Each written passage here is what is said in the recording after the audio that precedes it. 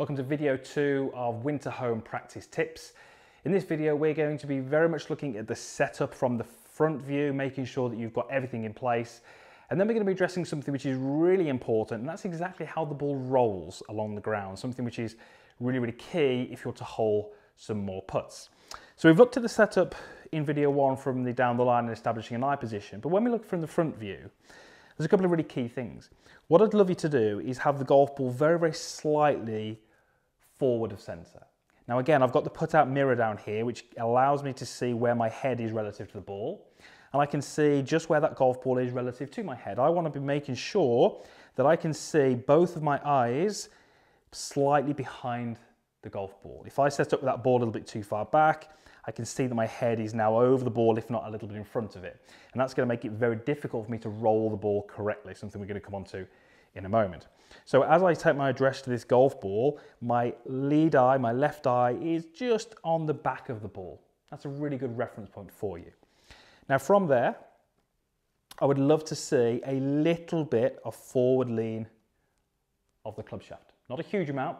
We do have some loft on these putters. This putter I've got here, this Spider X, has got about four degrees of loft.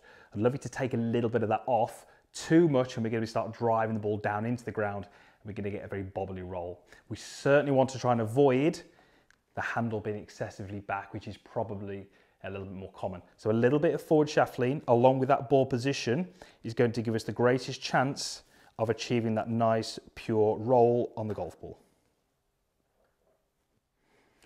Now this next tip is absolutely brilliant. I'd encourage you all to try this. And this is something you can do when the season starts on the putting green just to just check in with how you're actually rolling the golf ball across the green. What we'd love to have happen is fairly quickly after your putter makes contact with the ball, we start to get what we call forward roll, where the ball is actually rotating towards the target, so top spin.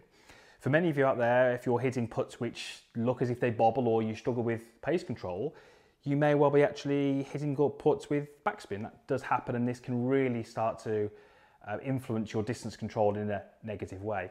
Or many of you will actually be driving the ball down into the green. You'll actually have quite a little bit of flight on that ball and some kind of hops. So what I'd love you to do is just take a golf ball and just place a line on it to give ourselves a reference point. Now I'm lucky I'm using these uh, TaylorMade Pix golf balls which have got this pattern on, so I actually don't need that line, but I've just done that there to illustrate what I'd love you to do. Take that line and face it to your phone, which you can see I've set up directly opposite and I've got my phone set up to record video in slow motion.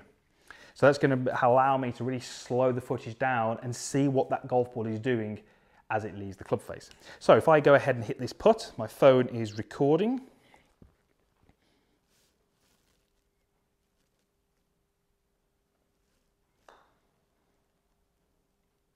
Okay, and what I'm looking for there is when I play that footage back on my phone, I'm looking to see how quickly that ball does start to roll forwards. Now it will depend a little bit on how far you're actually hitting that putt.